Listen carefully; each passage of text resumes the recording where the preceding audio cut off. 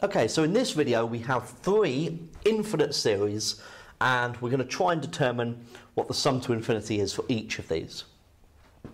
So we want to be able to identify the first term and the common ratio. So for this first one, number one, we've definitely got a first term of 2.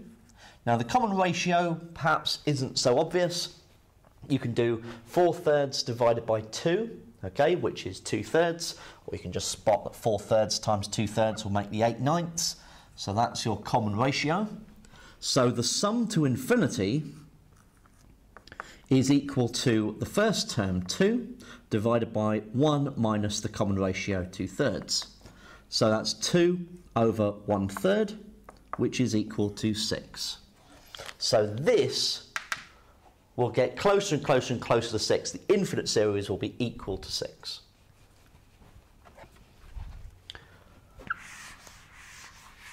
Okay, so number 2, so that was 6.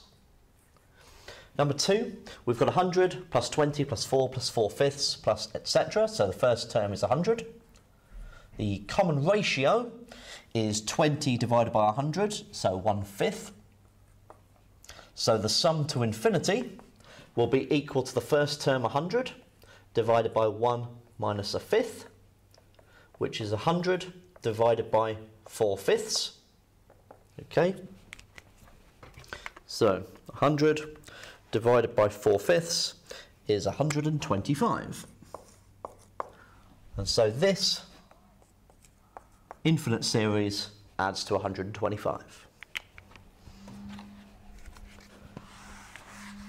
And then finally, number three, we have 6,000, take away 2,100, plus 735, take away 1,029 over 4, plus etc. So the first term is 6,000.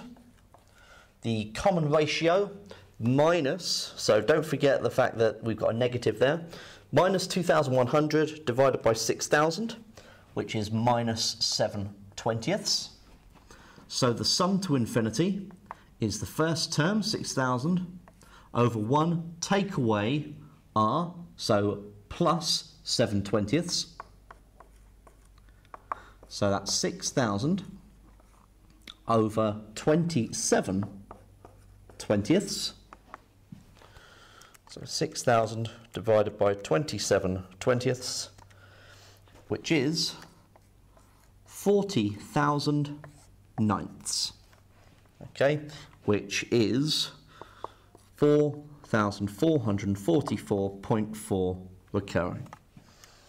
Okay, so that is how we can use this formula for sum to infinity. This is how we can evaluate infinite series.